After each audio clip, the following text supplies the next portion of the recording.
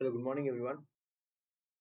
Good morning everyone. I welcome all of you to grade channel of YouTube grade up civil champion में आप सबका स्वागत है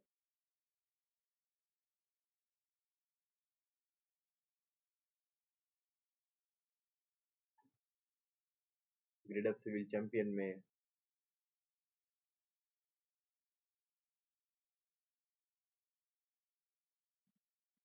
कैसे हैं आप लोग तो आज का जो टॉपिक है एयरपोर्ट और हार्बर डक और टनल तो ऐसे हम सवाल देखेंगे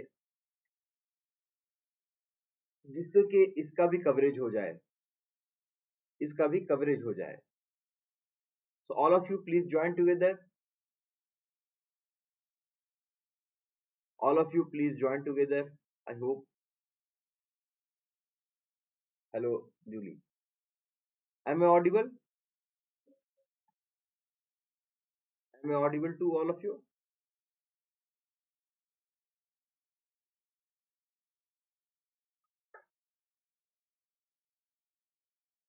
please एक बार शेयर और लाइक कर दें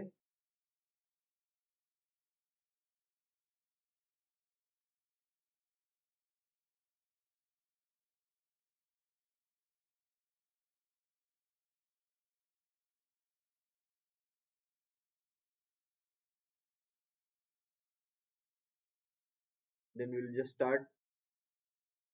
Hello aparajita. We'll start our session as soon as soon as possible right? Hello jeevan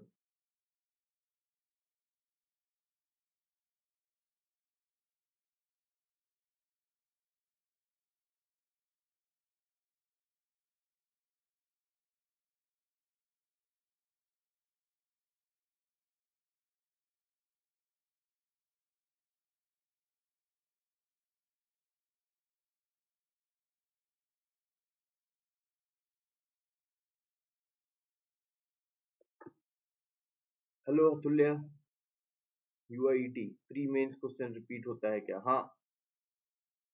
pre में क्वेश्चन रिपीट हो जाता है कई बार। बहुत बार रिपीट हो जाता है प्री में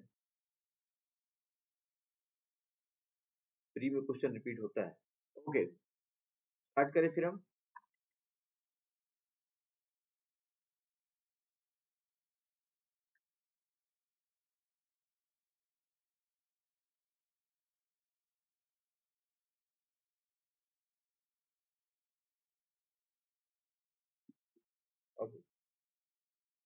नो ऑडियो ऑडियो नहीं आ रहा क्या? मेंस में हाँ मेंस में भी रिपीट होता है, पर सेम टू सेम क्वेश्चन तो नहीं होता है, पर हाँ रिपीट तो होता ही है।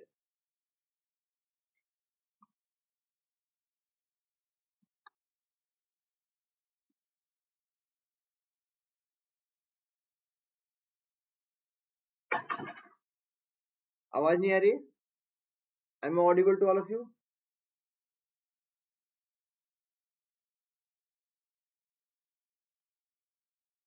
आवाज़ कम आ रही है क्या? हेलो?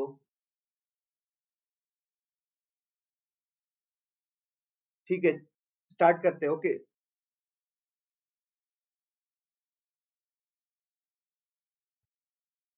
तो this is my small introduction as you know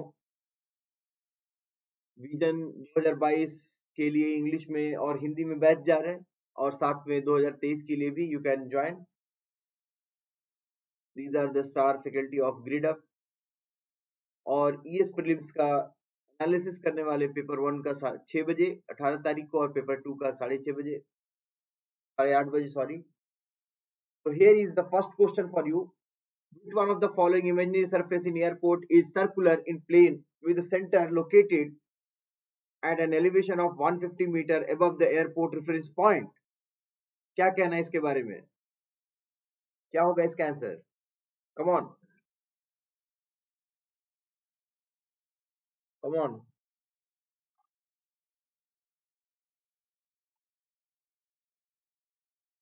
imaginary surface में रनवे के ऊपर यस एब्सोल्युटली करेक्ट रनवे के ऊपर और जो सरफेसेस होते हैं, वो डिसाइडेड किए जाते हैं ना? जैसे ये मान लिया हमारा क्या हो गया? ये मान लिया हमारा रनवे का स्ट्रिप हो गया। है ना? रनवे स्ट्रिप के साथ में सेम एलिवेशन पर याद रखना इससे रिलेटेड सवाल आते हैं उसमें। इससे ठीक बराबर में at the same level runway के स्ट्रिप के साथ प्राइमरी सरफेस है ना? फिर प्राइमरी सरफेस के बाद करीब 200 फीट तक होता है प्राइमरी सरफेस ये 200 फीट तक एक्सटेंड होता है दोनों साइड मैं एक साइड ही बना रहा हूँ सिर्फ़। उसके बाद आपका होता है क्या? ट्रांजिशन है ना? और ट्रांजिशन सरफेस के बाद आपका क्या होता है? ट्रांजिशन सरफेस के बाद, ट्रांजिशन सरफेस के बाद आपका होता है इनर हॉरिजेंटल सरफेस और इनर हॉरिजेंटल सरफेस के बाद होता है कोनिकल सरफेस। कोनिकल सरफेस और कोनिकल सरफेस के बाद में आपका क्या होता है? कोनिकल सरफेस के बाद क्या होता है? Outer horizontal surface. ठीक है? और खास बात क्या है? ये तो सेम एलिवेशन पे होता है। एयरपोर्ट का रेफरेंस जो पॉइंट होता है, वो आप कहा लेते हैं? वो आप रनवे के ऊपर ही लेते हैं, ठीक है? और प्राइमरी सरफेस जो है, ये वाला क्या बोला मैंने? Primary surface primary primary surface ये याद रखना, ये बहुत इंपॉर्टेंट है, हमेशा आता है, ये कई बार आ चुका है ये। ये क्या है? ट्रांजिशन सरफेस और ये क्या है? ये इनर हॉरिजेंटल सरफेस आईएचएस बोल रहा हूँ मैं ठीक है? ये करीब 45 मीटर की हाइट पर होता है। ये इमेजिनरी सरफेस है, ये सरफेस होते नहीं है। ये सरफेस है, हम मान लेते हैं कि इसके नीचे और कोई हम कंस्ट्रक्शन या प्रोट्रूजन बनाने के लिए हम कोई भी ऐसा स्ट्रक्चर नहीं बोलेंगे जो इस सरफेस को प्रोट्यूट करे, इस सरफेस को भेद के ऊपर जाए। जो भी होगा इसके नीचे होगा। हम्म ये 45 मीटर और ये होता है 150 मीटर का। कितना? 150 मीटर का। ये याद रखना आप। ये रनवे का स्ट्रिप हो गया। प्राइमरी ट्रांजिशन इनर हॉरिजॉन्टल और ये आपका क्या है? कोनिकल कोनिकल सरफेस है ना? और ये वाला हो गया आपका O H S outer horizontal surface बस यही बात है। है कि नहीं? तो ये बोल रहा है कि कौन है ऐसा जो सर्कुलर अच्छा सर्कुलर शेप में आपका कोनिकल और ओ एच एस होता है सिर्फ़, क्या? सर्कुलर शेप में सिर्फ़ कोनिकल और ओएचएस होगा। ये दोनों ही सर्कुलर होगा। सॉरी आईएचएस तीनों तीनों मिला के।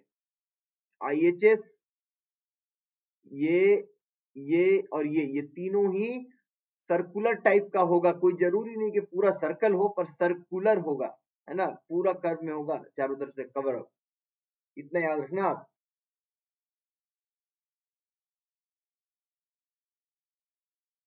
ठीक है? Gaon has recommended that the basic length should be increased at the rate of elevation correction के लिए आईसीएओ क्या रिकमेंड करता है? आईसीओ मतलब क्या हो गया? आईसीओ मतलब क्या हो गया? इंटरनेशनल सिविल एविएशन ऑर्गेनाइजेशन है ना? और ये क्या रिकमेंड करता है? यस एब्सोल्युटली करेक्ट कि भाई हर 300 मीटर के लिए सात परसेंट अपने बीआरएल को बढ़ा दो। अपने बेसिक रनवे लेंथ को सात परसेंट बढ़ा दो हर तीन सौ मीटर एलिवेशन के लिए। क्यों? क्योंकि बी आर एल जो है वो निकाला जाता है मीन सी लेवल पर, है ना? मीन सी लेवल पर निकाला जाता है। ये एजम्पन लेके चलते हैं हम। Absolutely correct all of you at certain station mean of the average temperature is given mean of the maximum daily temperature is given what is the airport reference temperature क्या होगा airport reference temperature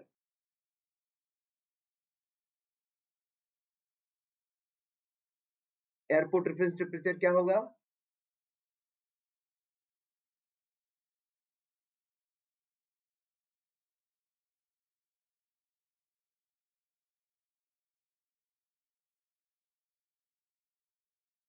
Yes absolutely correct airport reference temperature के लिए मैंने बोला, याद रखना, यहाँ T यहाँ टी यहाँ टी ये दोनों माइनस डिवाइडेड बाई थ्री और यहाँ प्लस इसमें जो ज़्यादा वाला होगा, वो सिर्फ़ ये एक है। कहा ज़्यादा वाला जो है ना, वो ये वाला है सिर्फ़। बस इतना ध्यान रखो। फॉर्मूला याद रखने के लिए लास्ट टाइम में और क्या करोगे? ये बड़ा वाला होगा। अब देखो दोनों कौन बड़ा है। चालीस ये वाला है ना, रख दो वहाँ। रख दो वहाँ, बस। इतना ही ध्यान रखो, काफ़ी है। दो ही टेम्परेचर देगा, वो उसमें ही काम हो जाना है। कितना होगा? चालीस में से पच्चीस गया, पंद्रह बटा तीन, पाँच, पंद्रह, पच्चीस, पाँच, तीस हो गया। Sorry engine failure case for अच्छा स्टैंडर्ड टेम्परेचर कैसे निकालते किसी एलिवेशन पे? किसी भी एलिवेशन पे अगर स्टैंडर्ड टेम्परेचर निकालना हो standard temperature at some particular elevation elevation तो कैसे निकालते हो?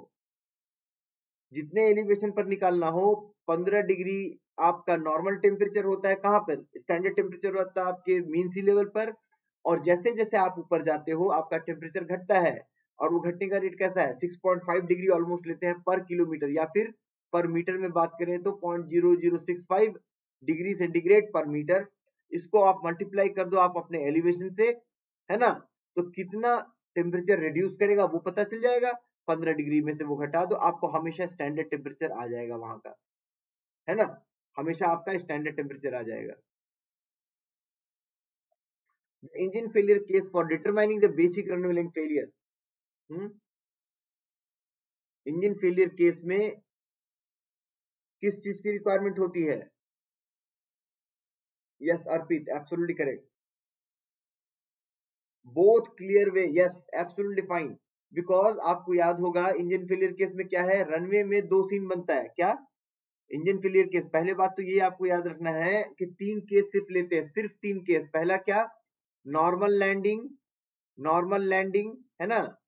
नॉर्मल लैंडिंग जब आप बी आर एल यानी बेसिक रनवे लिंक जब आप कैलकुलेट करते हैं, उसके लिए तीन ही केस होते हैं।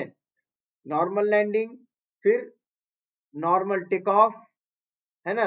नॉर्मल टेक ऑफ़ और नॉर्मल टेक ऑफ़ और engine failure case engine failure case बस ये तीन ही होता है, याद रखना ये।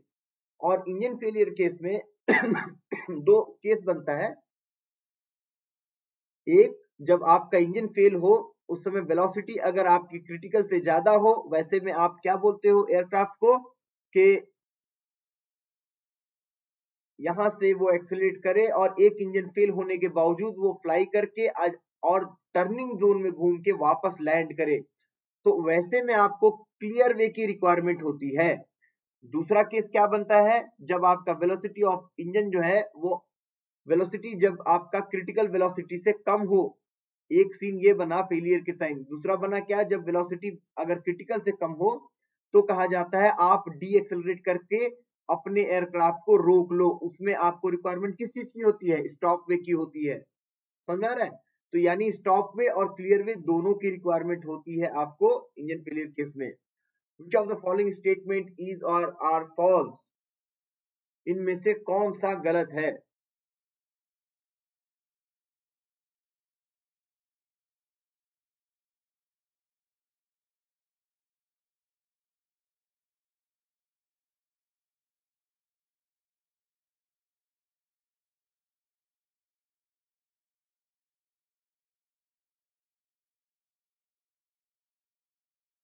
बिल्कुल सही जवाब। ये इनमें से देखो, कभी भी कोई रनवे आप ऐसे हाईवे भी बनाते हो तो रिपीटेशन ऑफ़ द लोड तो वहाँ भी आप कंसीडर करते हो तो आप ऐसा कैसे सोच सकते हो कि आप रनवे बनाओगे? रनवे के लिए तो बहुत बेसिक रिक्वायरमेंट हो गया कि भाई वो एंटी स्किड होना चाहिए रिपीटेशन ऑफ़ लोड के लिए कंसिडरेशन होना चाहिए फ्री फ्रॉम डस्ट होना चाहिए मिनिमम मेंटेनेंस उसमें होना चाहिए, है ना? और यहाँ पे एक ये गलती क्या है? इकाओ के हिसाब से minimum width of the pavement जो है वो 18 से 45 मीटर तक होता है। कितना? 18 टू 45 मीटर होता है ये।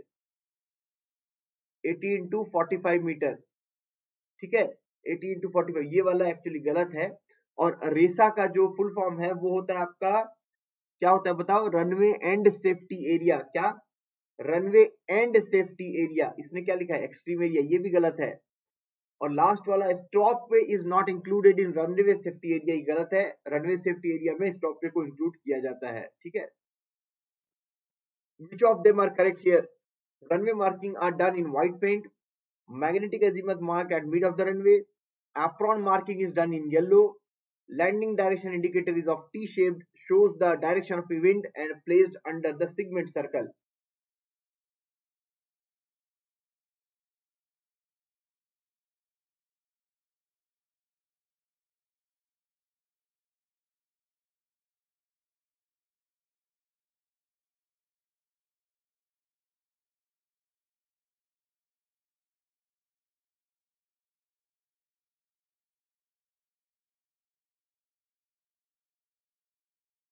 क्या होगा इसका answer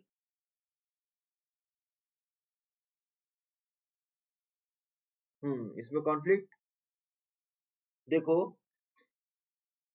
runway marking white paint से किया जाता है, सही है सही है। Magnetic azimuth is marked at mid of the runway ये गलत एक्चुअली मैग्नेटिक मैग्नेटिक एजिमत जो है वो मार्किंग तो करते हैं हम।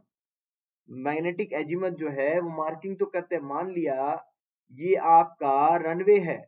ये आपका रनवे है है ना? रनवे का ये स्ट्रिप है। रनवे स्ट्रिप में मैग्नेटिक एजिमत का जो मार्किंग है वो बीच में नहीं करते हैं। जैसे ये हो सकता है आपका 270 डिग्री मैग्नेटिक एजिमत मतलब मैग्नेटिक बेरिंग की बात कर रहे हैं। वो हो सकता है कि होल सर्कल बेरिंग में होल सर्कल बेरिंग में 270 डिग्री होगा।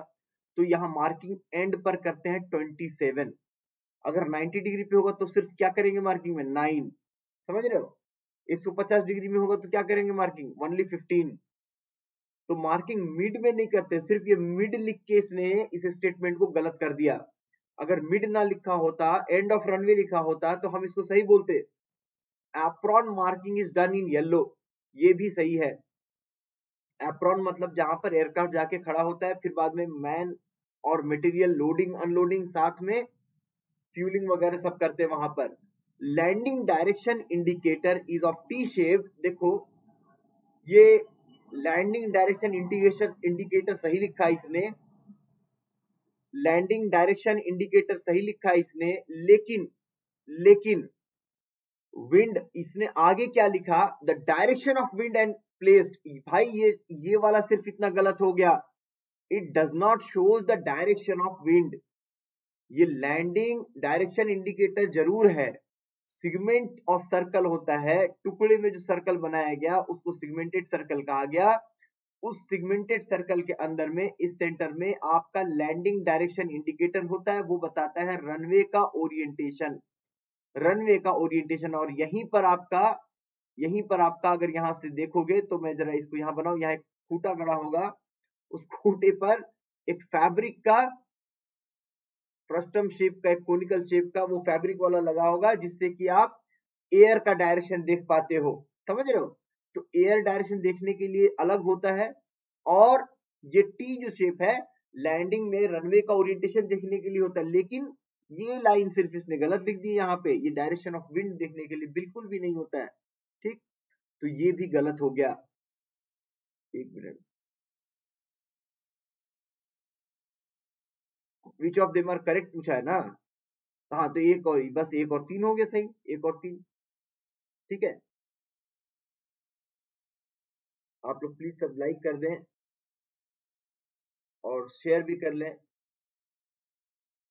Which of the following statement are correct related to wind wind rose diagram related to wind wind rose diagram it is only helpful to get single runway orientation it is helpful to get orientation of runway without understanding wind coverage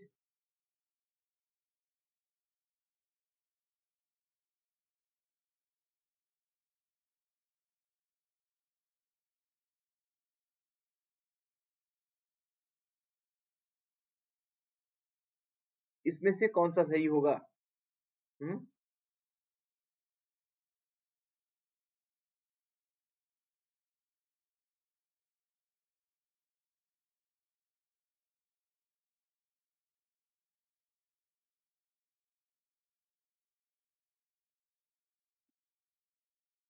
which of them will be correct?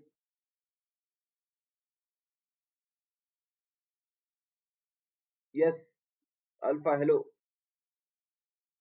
Which of them will be correct here क्या हुआ इसका जवाब काफ़ी देर लग रहा आने में?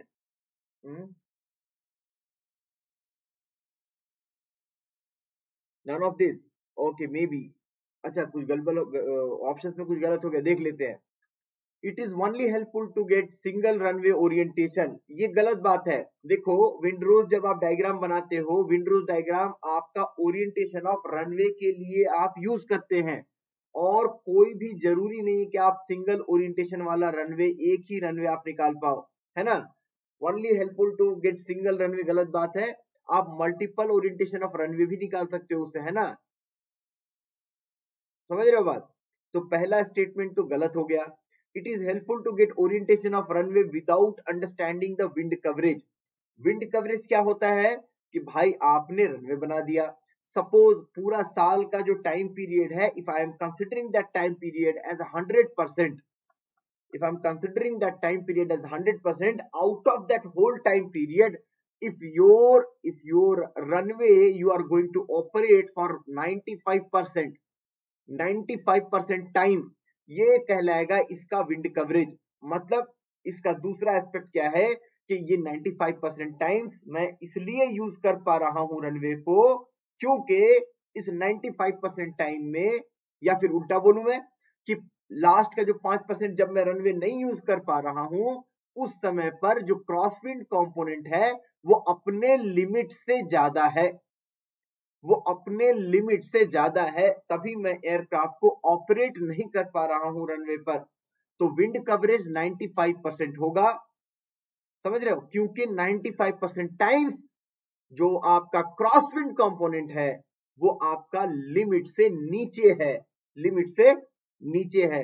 तो बोला it is helpful to get orientation of runway without understanding of wind coverage ये भी गलत बात है। आप ओरिएंटेशन निकालते ही इसके बेसिस पर हो कि ऐसा कौन सा ओरिएंटेशन लिया जाए जिसमें आपको मैक्सिमम विंड कवरेज मिले। उसमें भी एफ़ डबल ए के रेगुलेशन के हिसाब से 95 percent of the wind coverage तो होना ही चाहिए। ये मिनिमम है, ये मिनिमम है। याद रखोगे? 95 परसेंट विंड कवरेज मिनिमम है। समझ गए बात?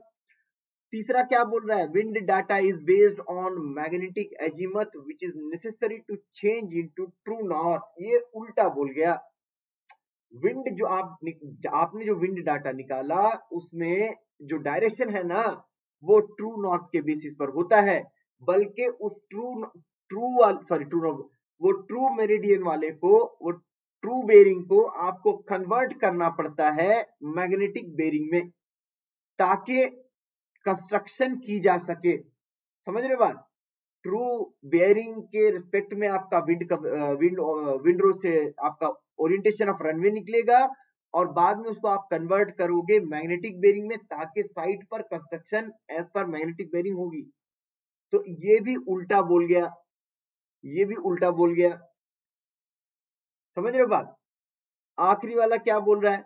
Wind rose data helps to design shorter length of runway भाई विंड रोज डाटा जो है ना, वो सिर्फ़ और सिर्फ़ ओरिएंटेशन ऑफ़ रनवे के लिए एसोसिएट करते हैं हम।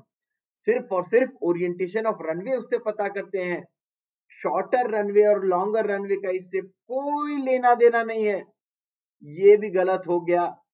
तो मिला के क्या हुआ भाई? सारा ये मेरा ऑप्शन ही गलत हो गया। पर भाई कॉन्सेप्ट तो सही हो गया ना। कोई doubt calm period is considered for wind intensity of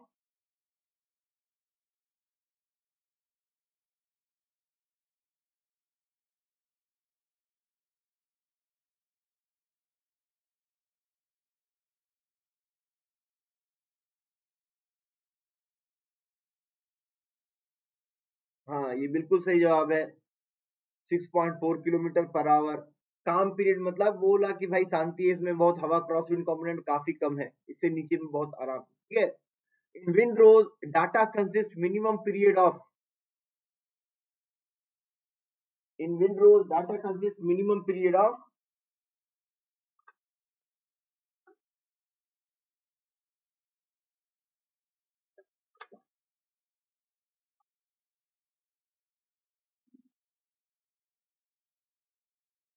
बिल्कुल सही। याद रखना मिनिमम कम से कम पाँच साल का डाटा लोगे, तब विंडरोज विंडरोज बनाओ। डिजायरेबल क्या है? डिजायरेबल तो दस साल है। हाँ बिल्कुल सही। Arrange the weight of aircraft increasing order ये ramp weight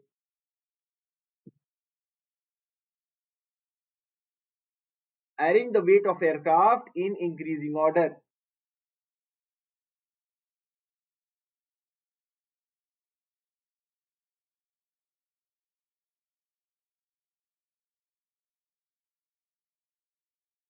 Increasing order में इसको लगाओ।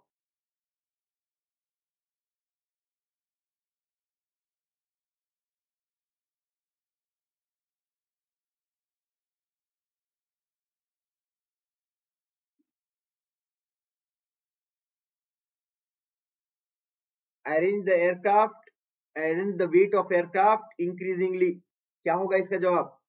इसमें देखो ये सवाल ये सवाल आसान है थोड़ा सा जो इसमें बताने वाला हूँ कॉन्सेप्ट अगर उसको समझ लो आप तो ये बिल्कुल ही आसान है। इफ़ यू सी सी से देखो एयरक्राफ्ट का एक ऑपरेट ऑपरेटिंग एम्प्टी वेट होता है ओईडब्ल्यू e बोलते हैं उसको, है ना? ऑपरेटिंग एम्प्टी वेट होता है इसका। तो इसमें क्या है? पूरा स्ट्रक्चरल वेट वगैरह रहेगा स्ट्रक्चर का पूरा वेट रहेगा। इसके बाद क्या होता है? दूसरा, ऊपर आपका यहाँ पे आप बोल सकते हो पेलोड पेलोड पेलोड में क्या हो गया? पेलोड में main material and main material and baggage सब कुछ आ जाएगा, है ना? पेलोड में मेन मटेरियल बैगेज सब कुछ आ गया। उसके बाद उसके बाद इसके ऊपर क्या होता है? फ्यूल फ्यूल ये पूरा फ्यूल का जोन है. फ्यूल अब यहाँ पे याद रखना, जब आप पेलोड और ऑपरेटिंग एम्प्टी वोट वेट को इंक्लूड करके बात करते हो मतलब एयरक्राफ्ट के स्ट्रक्चरल वेट प्लस पेलोड को इंक्लूड करोगे तब आपका बनता है ज़ीरो फ्यूल वेट क्या बनता है? तब आपका क्या बनता है? ज़ीरो फ्यूल वेट ये हो गया आपका ज़ीरो फ्यूल वेट फिर उसके बाद आपका एयरक्राफ्ट जब एप्रॉन में खड़ा होता है एप्रॉन में खड़ा होता है, तब आपने पूरा तेल भर दिया इसमें। तेल पूरा भरने के बाद ये क्या करेगा? ये जाएगा टैक्सी वे में और टैक्सी वे में ट्रेवल करके ये पहुंचेगा कहाँ? रनवे पर। तो भाई जब टैक्सी में चलता है ना, उसको हम बोलते हैं मैक्सिमम टैक्सी वेट या फिर मैक्सिमम रैंप वेट। और ये हो जाएगा सबसे ज़्यादा सबसे ज़्यादा पूरा भरा हुआ, पूरा भरा हुआ एकदम। समझ रहे हो? मेन मटेरियल बैगेज पेलोड जो है, फिर स्ट्रक्चर तो है ही और तेल भी पूरा भरा हुआ। ये हो गया आपका कौन सा? ये हो गया आपका पूरा वेट जो है, वो हो गया मैक्सिमम रैंप वेट। फिर जब रैंप पर चलने के बाद जब रनवे पर आके खड़ा हो जाएगा, उड़ने के लिए तैयार हो जाएगा, उड़ने के लिए विंग बहुत छोटा बना दिया मैंने, समझ रहे हो? इतने छोटे विंग से क्या उड़ेगा ये? तो जब उड़ने के लिए तैयार हो जाएगा, तब क्या होगा? भाई थोड़ा तेल इसका चला गया रैंप में चलते समय तो थोड़ा सा घटा के ले लेंगे, थोड़ा सा घटा के ले लेंगे। अब ये जो थोड़ा सा घटा है ना, ये आपका टैक्सी वे में ट्रेवल करते समय निकल गया इसका। अब ये जो वेट बचा, इसको क्या बोलते हैं? ये कहलाता है आपका इधर है। Maximum take off weight, maximum take off weight. और इसके बाद एक लास्ट में क्या आएगा? इसके बाद एक लास्ट में आएगा कि भाई जब ट्रिप करेगा, कहीं एक जगह से दूसरी जगह जाएगा तो तेल और घट जाएगा, है ना? तेल और घट जाएगा तो कहीं बीच में यहाँ पे होगा। इसके बाद रिज़र्व फ्यूल भी होता है। खैर, हमें उससे और तेल कहाँ होगा, हमें क्या पता है भाई कितनी दूर गया, कितना तेल खर्चा किया उसने। ये हो गया आपका, क्या कहलाएगा ये? इसका इसमें नाम है नहीं, मैं अलग से लिख दे रहा हूँ। ये कहलाएगा आपका मैक्सिमम लैंडिंग वेट। बस इतने से आप क्या है, इससे रिलेटेड जो सवाल है उसको हमेशा बना सकते हो। अब खुद ही बताओ सबसे ज़्यादा कौन होगा, सबसे कम कौन होगा? इंक्रीजिंग ऑर्डर में लगाना तो भाई सबसे कम तो ओई डब्ल्यू e होगा। ऑपरेटिंग एम्प्टी ऑपरेटिंग वेट है ना?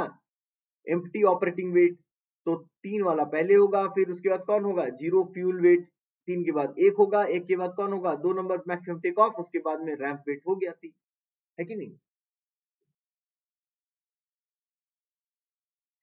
Which of the following statement are correct? Holding apron is used for repairing purpose of aircraft. The size of hangar depends on runway capacity of aircraft or sorry airport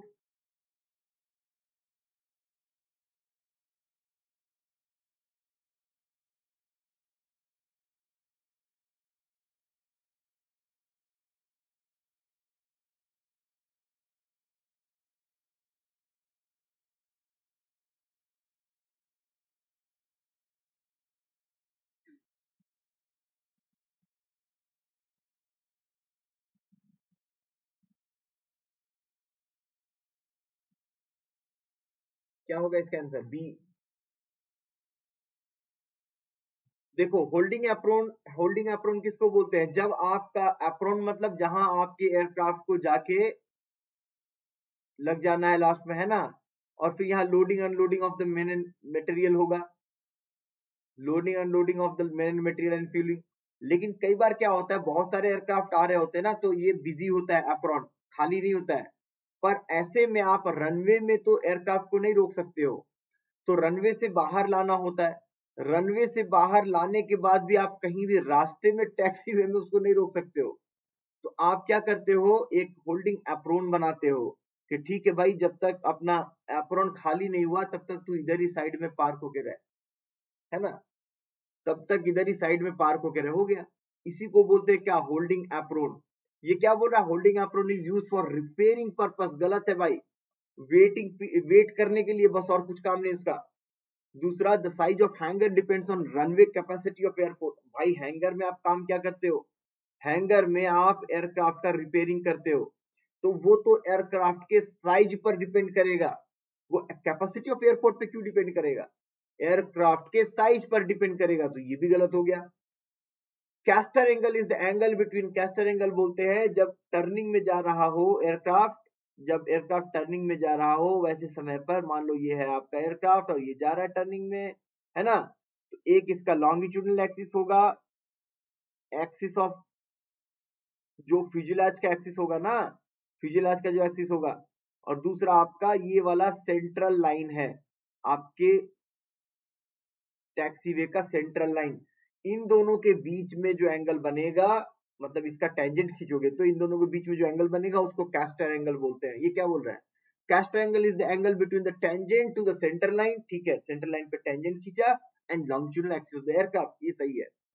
ये सही है भाई। Apron is use for loading unloading facility of the par ये भी सही है। तो सिर्फ़ तीन और चार सही है। मतलब बी होगा answer which of the following statement are correct ये क्या होगा बताइए?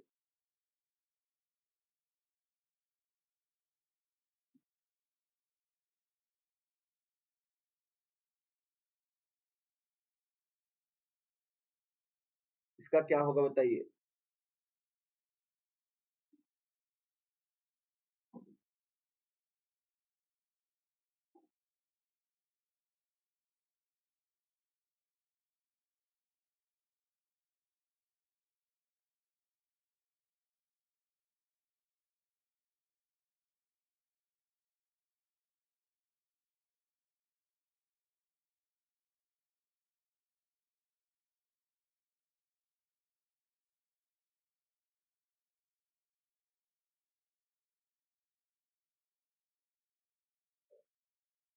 बिल्कुल सही।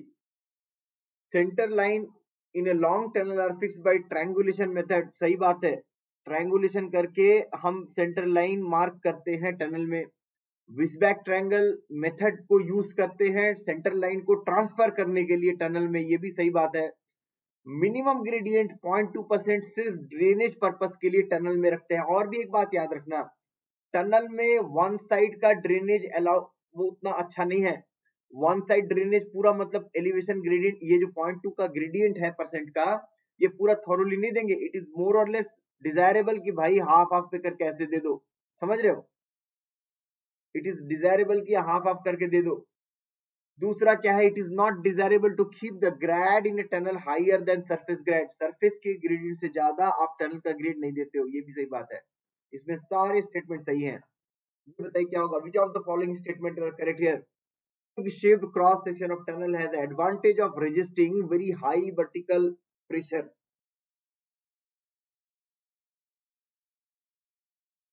For hard rock tunnel, the most easy to construct segmental roof section.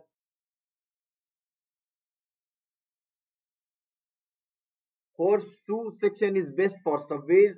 It is also easy to construct compared to D section Horseshoe section is most suitable in soft soil and provide space for the utility areas. Utilities होगा ये ये utilities utilities areas utility utility utility as well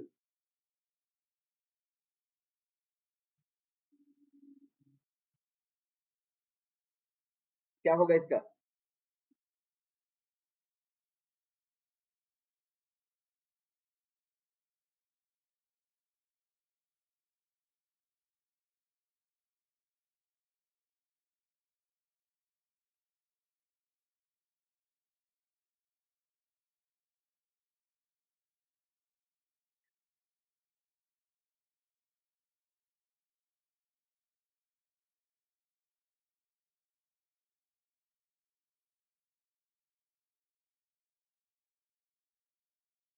देखो, एक तो आपको याद होगा कि आप एक शेप का जो, एक शेप में जो टनल है ना, एक शेप टनल आपको याद होगा, ये सेल्फ क्लींजिंग वेलोसिटी अच्छा प्रोवाइड करता है। आप इसको सीवर में लगाते हो।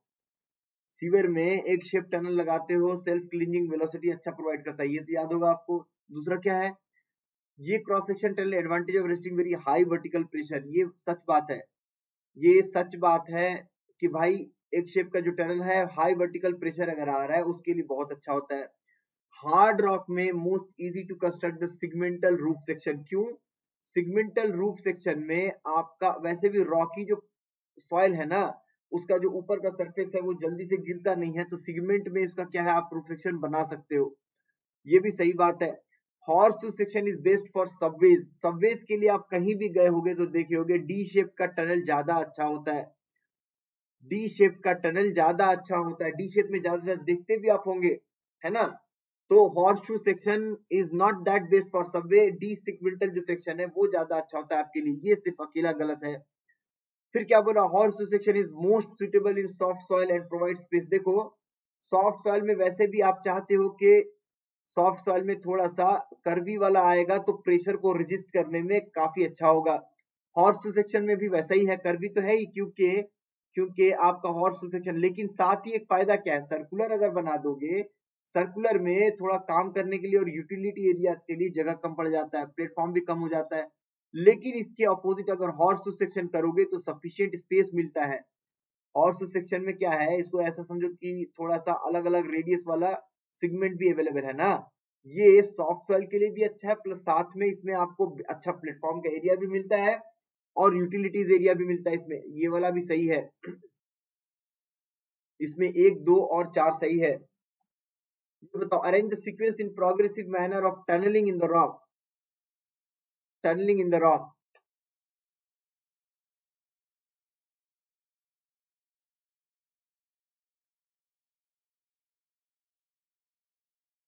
देखो, ये तो बड़ा आसान है, ये बहुत जनरल प्रोसेस है। सबसे पहले तो भाई ब्लास्टिंग ब्लास्टिंग जैसा कुछ करोगे ना, कहीं है? प्रोग्रेसिव मैनर सबसे पहले क्या करेगा आदमी? ब्लास्टिंग से भी पहले है कुछ क्या? In a progressive manner.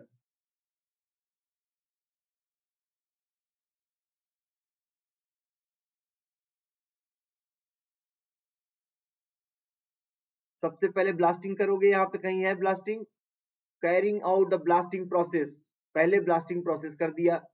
फिर क्या करोगे? डस्ट निकाल दोगे। तो एक के बाद में पहला काम क्या होगा? अरे इससे भी पहले है ना यहाँ पे transferring the centre line to inside of tunnel transferring the centre line inside the tunnel पहले शाफ्ट बना के शाफ्ट बना के, है ना? बाद में तो अंदर ब्लास्टिंग करोगे ना? बाद में अंदर ब्लास्टिंग करोगे। सेंटर लाइन को पहले स्टार्ट कर दोगे शिफ्ट करना, फिर ब्लास्टिंग करके और आगे बढ़ाओगे। तो ये काम करने के बाद फिर फिर कैरी आउट करोगे क्या? ब्लास्टिंग को। फिर ब्लास्टिंग करने के बाद में आप डस्ट रिमूवल करोगे मतलब वेंटिलेशन प्रोवाइड करोगे। वेंटिलेशन कैसे प्रोवाइड करोगे? कहाँ है इधर? Ventilation and removal of dust है ना? इसके बाद आपने वेंटिलेशन प्रोवाइड किया। वेंटिलेशन प्रोवाइड करने के बाद में आपने जो ब्लास्टिंग की है, उसका जो मटेरियल बचा है, उसको बोलते हैं मक। क्या बोलते हैं उसको? मक। मक रिमूवल उसके बाद में आप मक रिमूवल करोगे। है ना?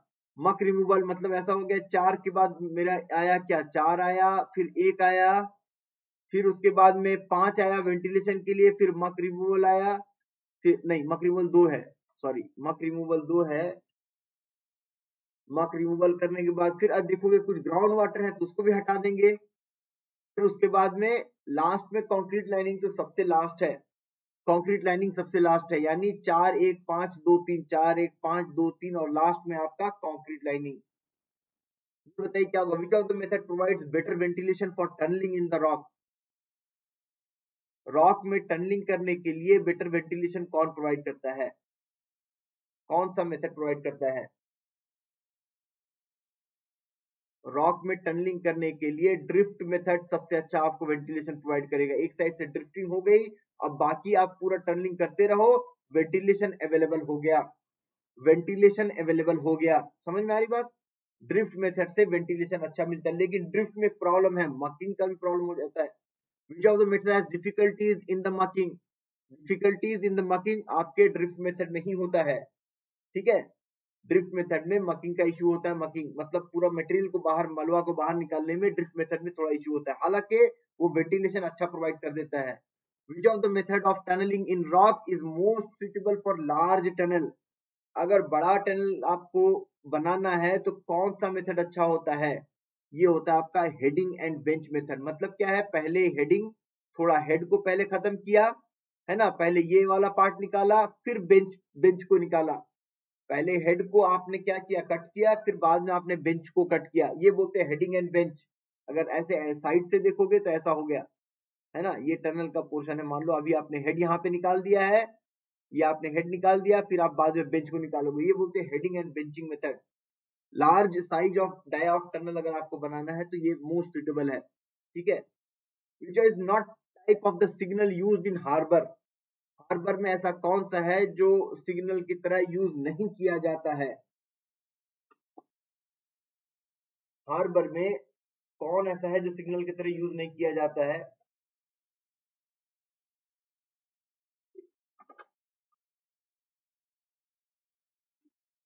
Yes semaphore signal. क्यों ये यूज़ किया जाता है? कहा? ये भाई, ये रेलवे में यूज़ किया जाता है सीमा फोर सिग्नल। है ना? सीमा फोर सिग्नल रेलवे में यूज़ किया जाता है। बीकन, बायोस, ये सब क्या है? सिग्नल है हार्बर का। लेकिन मूरिंग भी हार्बर का ज़रूर टर्मिनोलॉजी है, पर ये पर ये सिग्नल नहीं है। क्या है मूरिंग मतलब? टाई करने वाले बात को हम मूरिंग बोलते हैं, है ना? जैसे आपका, ये होता है ना, कैप्टन और बलार्ड ये जैसे आपका बलार्ड कहलाएगा डॉक में। डॉक में देखा है आपने, जहाँ पे जाके शिप को लगना होता है? इस शेप में बना होता है ना? एकदम ब्लैक रंग का लोहे का एकदम मस्त बना होगा ऐसा, है ना? और शिप आने के बाद क्या होगा? शिप आ गया भाई तो उसमें से रस्सी फेंको, है ना? जैक स्पैरो आएगा, रस्सी फेंकेगा, इधर रस्सी बांधेगा। तो ये जो रस्सी बांधने की बात होती है, इसको हम क्या बोलते हैं? Mooring. Mooring of the ship along with bollard इसको क्या बोलते हैं? बलार्ड बलार्ड ठीक है? और मूरिंग जो है वो प्रोसेस है। मूरिंग क्या है? वो प्रोसेस है। बायोस क्या है? बायोस ये बायोस है आपका, आपने देखा होगा सरफेस ऑफ़ द वाटर पर फ्लोट करता हुआ ball surface of the water पर फ्लोट करता हुआ बॉल ये नेविगेशनल पर्पस के लिए यूज़ किया जाता है। बॉल जब आपका ऑन द सरफेस केप्ट रहता है ना तो क्या है भाई? डायरेक्शन पता चलता है, इधर जाना है उधर नहीं जाना, ऐसे, है ना? और ये कैसे होता है? ये एक अच्छे चेन के साथ बढ़िया से पूरा टाई करके रखा जाता है। बॉटम में इसके एक हेवी वेट दिया रहता है। एंकरेज किया गया रहता है ये बॉटम में एक हेवी वेट के साथ। ठीक है?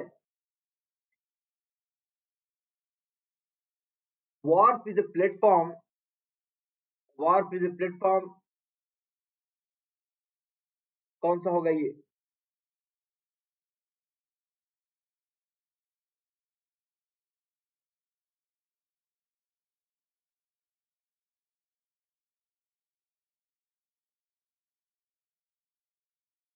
वॉर प्लेटफॉर्म है। आपका मान लिया, ये सी शोर एरिया है है ना?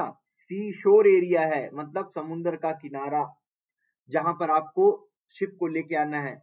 जब प्लेटफॉर्म आपने यही बिल्टअप कर दिया पैरेलल टू द सी शोर पैरेलल टू द सी शोर जब आपने प्लेटफॉर्म बिल्ड कर दिया तो वार्फ क्या है? Actually filling of the earth है। वार्फ आपका फिलिंग ऑफ़ द अर्थ और कोई जो है इसका प्लेटफॉर्म है यहाँ पे, ठीक है? जब आप इसको parallel to the shore line area करते हैं, तब आप इसको वार्फ का प्लेटफॉर्म बोलते हैं ना? वार्फ प्लेटफॉर्म इसको कोई भी बोलते हैं। लेकिन इसके अपोजिट कई बार कई बार लिटोरल ड्रिफ्ट से बचने के लिए सेडिमेंटेशन से बचने के लिए, आप शोर लाइन से परपेंडिकुलर आप प्लेटफॉर्म क्रिएट करते हैं, जिसको क्या आप क्या बोलेंगे? जेटीज बोलते हैं इसको क्या? जेटीज तो वार्फ में भाई दूसरी तरफ़ तो पूरा लैंड है। लैंड है, इसमें आपको दोनों तरफ़ से शिप को रखने का मौका नहीं मिल पाएगा। शिप आएगा, एक ही तरफ़ यहाँ खड़ा हो पाएगा। लेकिन जेटी में क्या फ़ायदा होता है कि आप दोनों तरफ़ से शिप को लगा सकते हैं। प्लेटफॉर्म के दोनों साइड से शिप को लगा सकते हैं पार्क कर सकते हैं। पार्क करने वाले टर्म को हार्बर डेक में बर्थ कहा जाता है बर्थ ठीक है? बिल्ड पैरेलल टू शोर बस यही सही है। Having berth on one side one अच्छा ये भी सही सॉरी मुझे लगा दो साइड बोल रहा है ये. Having berth one side only तो इसका आंसर क्या होगा? सी होगा इसका आंसर ठीक है? Breakwater is provided breakwater is provided the breakwater is provided.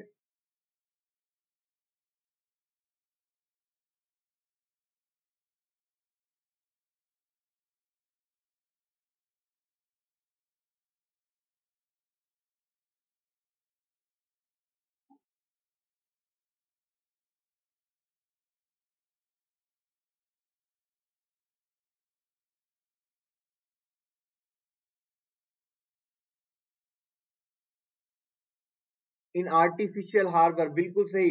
क्या है? हार्बर में, याद रखना हार्बर जो है ना, वो पानी वाला एरिया है। पोर्ट जो है, वो पूरा का पूरा, उस एक पोर्ट में एक से ज़्यादा, दो, तीन, चार हार्बर भी हो सकते हैं।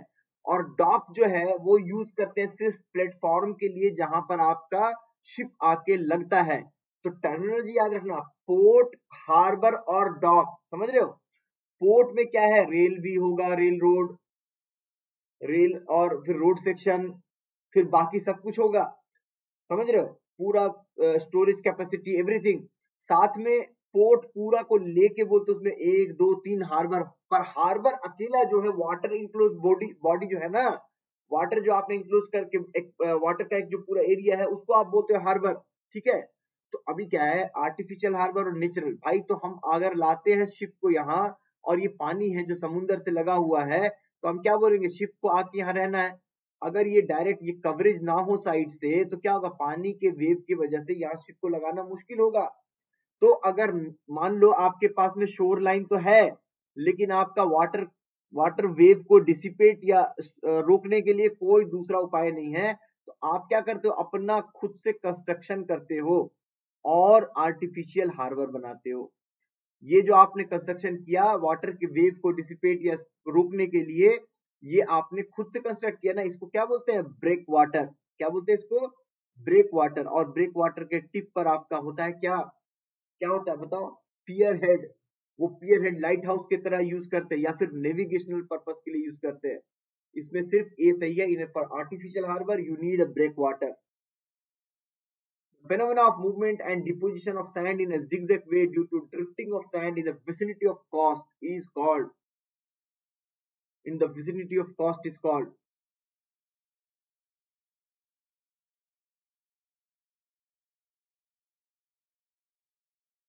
ठीक है ये फिनोमेना है जब आपका डिपोजिशन ऑफ़ सैंड होता है जिगजैग मैनर में है ना due to drifting of sand in the vicinity of coast coastal area में आपके सैंड का जिगजैग डिपॉजिट होना वेव की वजह से कहलाता है इस फेनोमेना को लिटोरल ड्रिफ्ट क्या बोलते हैं? Littoral drift why are mooring provided अभी तो बताया मैंने इसको। Moorings are provided for the anchoring of the ship for the anchoring of the ship ठीक है? A ship is berthed in a chamber and lifted by principle of buoyancy. Such a chamber is called as such chamber is called as याद रखना इसमें क्या है? Dry dock होता है विट dock होता है और एक फ्लोटिंग डॉक होता है फ्लोटिंग डॉक है ना? विट डॉक जो है वो कैसा है कि भाई नॉर्मली आपने प्लेटफॉर्म बना दिया है और पानी है इधर अवेलेबल तो ये वाला डॉक क्या कहलाएगा? ड्राई विट डॉक तो शिप जनरली आके यहाँ रुकता है loading unloading men and material का आपको विट डॉक में होगा। ड्राई डॉक क्या है? ड्राई डॉक ऐसा समझो कि आपने शिप को बुलाया। यहाँ पे आपने क्या गेट लगाया? शिप को बुलाया, फंसाया, बोला, आ जा भाई घूमने के लिए। शिप बेचारा आ गया, पानी का लेवल समुद्र के बराबर था। शिप जब अंदर आ गया, तब आपने क्या किया? फटाफट गेट बंद कर दिया। फटाफट गेट बंद कर दिया और बंद करने के बाद जो अंदर पानी था, पूरा पंप आउट करके निकाल दिया। अब वो फंस गया ना, मछली जाल में फंस गई। जब ये फंस गया तो अब क्या होगा? अब बॉटम में देखो जरा, ये बॉटम है, अब शिप क्या होगा? धीरे धीरे शिप नीचे आएगा। नहीं, पानी जाएगा तो शिप बेचारा नीचे आएगा ना। अब जब शिप नीचे आ रहा होगा तो उस समय याद रखना शिप के नीचे आते समय अगर आपने कुछ अरेंजमेंट नहीं किया है तो शिप तो कोई एक तरफ़ गिर जाएगा। उससे बचने के लिए आप यहाँ पे अरेंजमेंट करते हो, है ना? आप यहाँ पे देते हो। ऐसा होता है लकड़ी का गुटका ये वही है इसको बोलते हैं, जो जस्ट बेस में देते हो, उसका नाम आप देते हो कील। क्या? कील। और जो साइड से देते हो, या तो ऐसे, या तो ऐसे। अब इससे क्या होगा? इसको बोलते हैं बिल्जे, है ना? ये जो आप प्रोवाइड करते हो, इससे क्या शिप को आप वहाँ पे पर्टिकुलरली होल्ड करके फिर रिपेयरिंग वर्क कर सकते हो। फिर आप रिपेयरिंग वर्क कर सकते हो। तो खील एंड बिल्जे यूज़ करते हैं। इसका प्रोनाउंसिएशन बिल्जे का आप ही कर लेना, मेरे से तो आज तक नहीं हो पाया। बिल्जे। ठीक है? खील और ब्लाइज या बिल्जे समझ में आ गई बात? और फ्लोटिंग डॉग जो है, वो क्या होता है कि वो तो ऐसा हो गया भाई पानी में है ना? अगर मान लो कोई पानी में कोई छोटा मोटा हल्का फुल्का सा चीज़ है, आप अपने हाथ को ले जाते हो, नीचे से हाथ ले जाते हो और धीरे से उसको उठा लेते हो तो क्या सूखे आपके हाथ में आ जाता है ना वो? बस वही बात है फ्लोटिंग डॉक में कि भाई समुन्द्र में था कोई छोटा सा शिप है ना? आपको थोड़ा बड़ा थोड़ा बहुत रिपेयर करना था, आप बड़ा वाला फ्लोटिंग डॉक लेके गए। धीरे से नीचे से उसको अपने बाहों में ले लिया। उसके बाद उसके बाद आपने क्या किया? फिर यहाँ से पंप आउट करके पानी निकाल दिया। आपके इसमें चला आया वो। आपके डॉक पे चला है ये फ्लोटिंग डॉक कहलाता है। इसके लिए क्या है? अगर छोटा मोटा रिपेयरिंग करना है तो आपको आपको शिप को वापस पूरा ड्राई डॉक में लाने की ज़रूरत नहीं पड़ेगी। Please welcome Ankit sir is here hello good morning sir good morning sir मैंने देखा ही नहीं आप मैं बहुत कम कमेंट देखता हूँ actually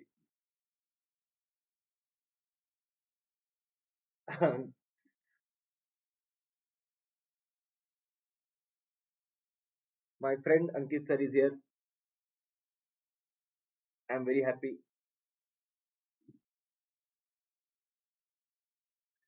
ठीक है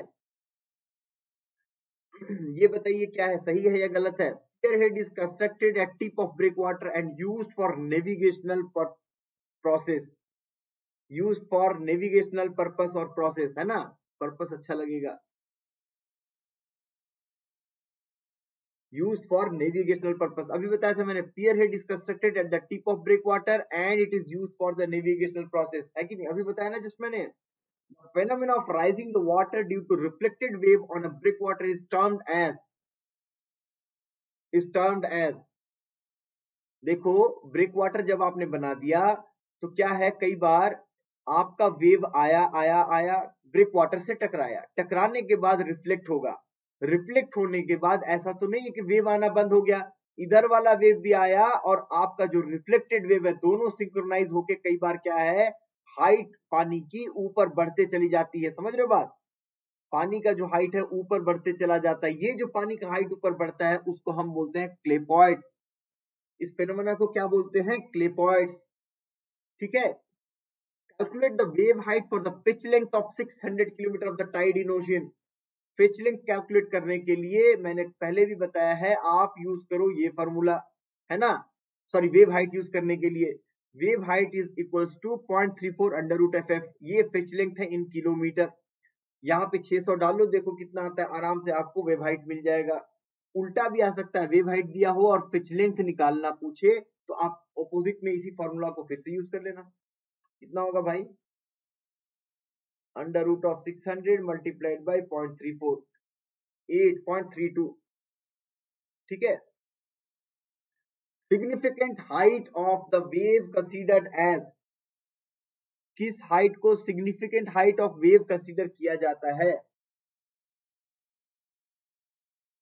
किस हाइट को significant significant height of wave consider किया जाता है?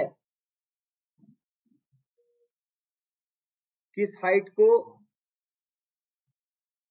याद रखना, average height of one third highest wave, जो हाईएस्ट वेव है, उसके one third height of the highest wave के एवरेज हाइट को एवरेज उसके एवरेज को हम क्या करते हैं?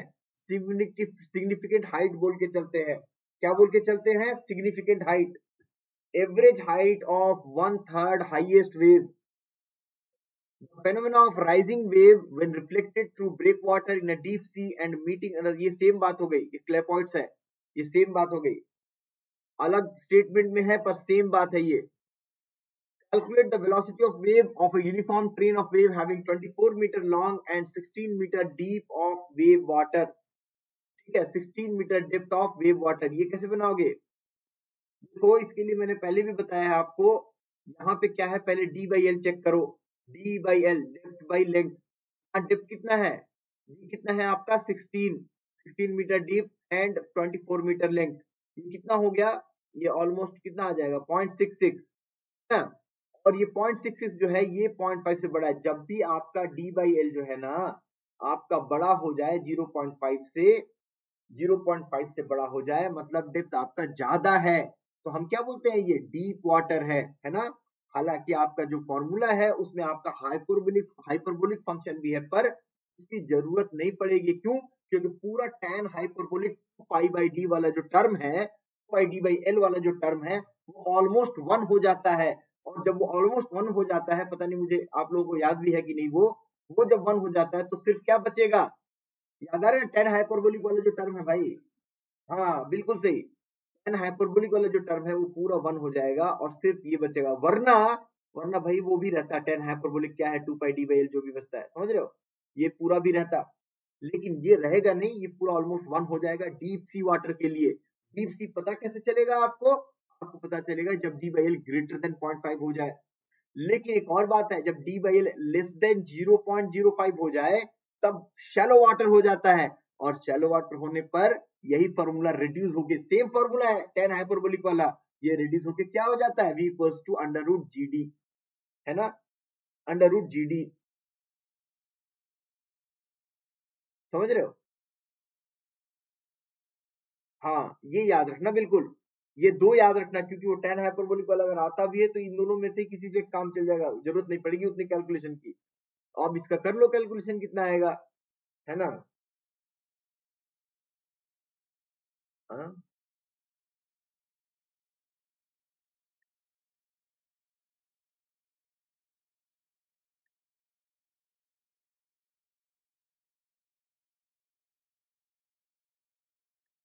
Six point one two. इसका आएगा 6.12 है कि नहीं?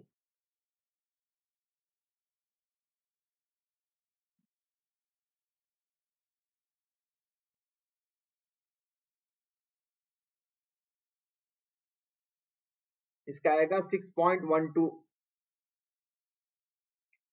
what is the minimum angle of wave crest what is the minimum angle of wave crest wave crest का मिनिमम एंगल कितना लेते हैं? देखो भाई वेव बनने के बाद एक एंगल है मिनिमम उसके बाद क्या बोलते हैं? वेव टूट जाएगा।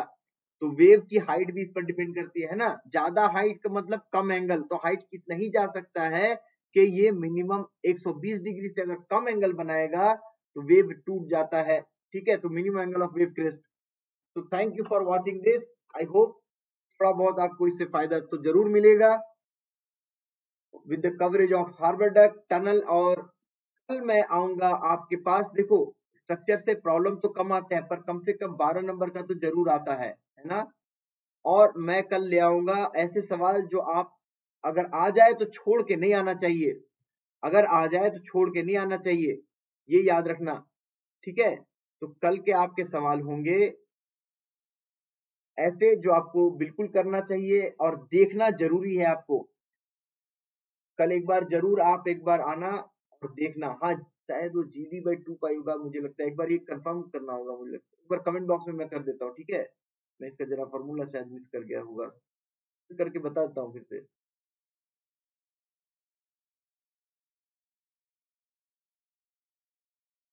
टेलीग्राम चैनल पर भी आना, मैं वहाँ भी लिख देता हूँ एक बार फिर से दोबारा, ठीक है? स्ट्रक्चरल के बहुत अच्छे सवाल रहेंगे। बार रिवीजन भी कर लो और जो आसान चीज़ है, उसको ज़रूर देख के जाना, करके जाना ताकि सवाल को बना सको। Thank you everyone have a nice day